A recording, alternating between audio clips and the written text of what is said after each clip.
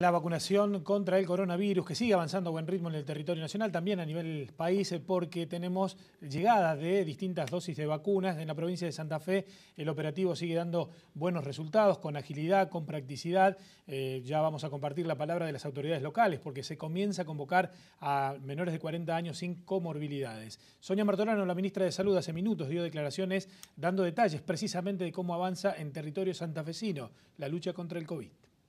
Hoy cumplimos seis meses del operativo de vacunación contra el coronavirus. También hoy anunciamos, y con orgullo, que dimos 41.396 turnos, tanto de primera como de segundas dosis. Estamos llevando adelante un operativo de vacunación que es histórico. Solamente en el mes de junio entregamos 800.000 turnos para vacunación. Por eso te pedimos que te fijes entre los mensajes de texto, en el correo electrónico o en el sitio web de vacunación porque probablemente tu turno esté llegando.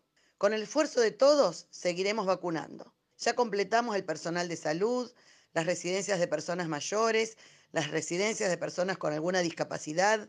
También completamos los mayores de 60 años y las personas de 18 a 59 con comorbilidades.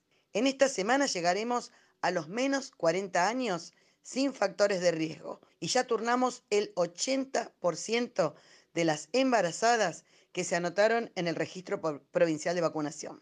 Estamos vacunando en 323 localidades y esto es gracias al trabajo de los equipos locales, a las intendencias, a las municipalidades, pero al trabajo de todos los equipos de salud.